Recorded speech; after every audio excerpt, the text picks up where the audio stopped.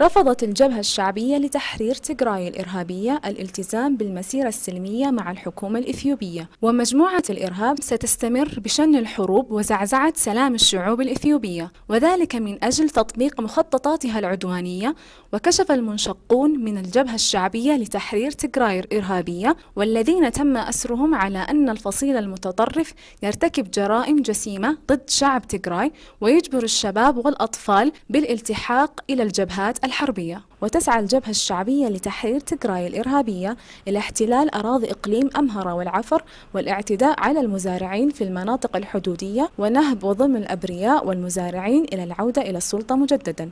هم ما ما مهتمين قلت لك ما عندهم حب الشعب هم يبغون ولو هلكت شعب تيغراي حتى لشعوبهم ما, ما يخدمون. الان دمروا اطفال أطفال في الحروب 15 سنة اللي ما كملوا 14 دم ما عندهم حب شعبهم حتى.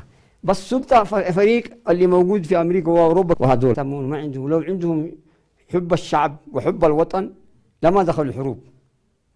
كلما حكومة الاثيوبيا تتفاهم معه وتبقى صلح كل ما فتحوا عليها الحروب. تسعى الجبهة الشعبية لتحرير تيغراي الإرهابية إلى احتلال أراضي إقليم أمهرة والعفر والاعتداء على المزارعين في المناطق الحدودية لأنها تعودت على النهب وظلم الأبرياء. هذا من هذا هدفهم الأصلي من بداية تأسسوا عليها.